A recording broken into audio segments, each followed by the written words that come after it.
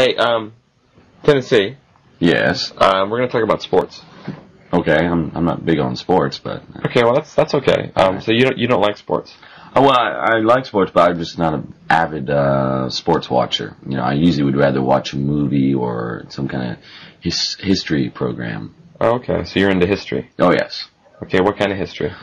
Um, well, that's kind of difficult question. I would say uh, I'm interested. Primarily, I'm interested in ancient and medieval, but I also like studying the history of the countries that I visit. It makes it more uh, interesting when I go sightseeing. Okay, what countries have you visited? Uh, I've been to 26 countries. Really? Yeah. Oh, okay. Well, yeah, you can't name them all. I know. I was, uh, the big ones, I would say, I've been over a good bit of Europe, uh, Mexico, Peru. I spent almost a year in Egypt, and I went to Israel, and Jordan, and now uh, I'm here in Japan. I've been here in Japan a year and a half, and while I've been here, I I visited Korea for about a week. Okay. Wow, that's a lot. So did you see the pyramids and? Oh yes, actually, I climbed the pyramids. Oh, really? Mhm. Nice. What's it like on the top?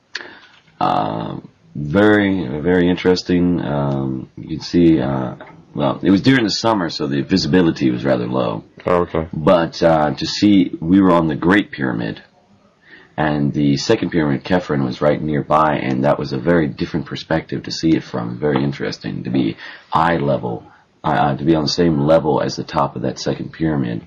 Okay. Wow. So you were in Peru, right? Yes, Okay. What's the big uh, thing that people say in Peru? Machu Picchu. Machu Picchu.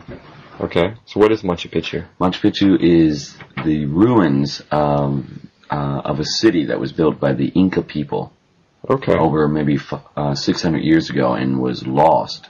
No one knew what happened to it until it was recently discovered about 100 years ago. Okay. Nice.